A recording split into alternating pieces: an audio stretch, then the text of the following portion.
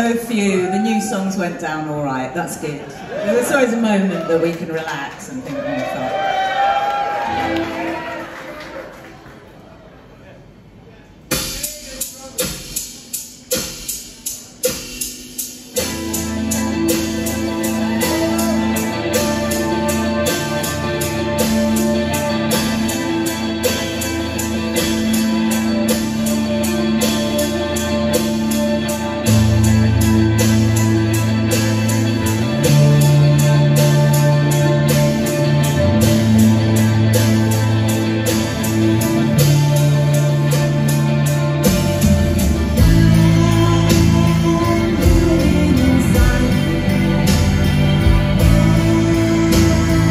You.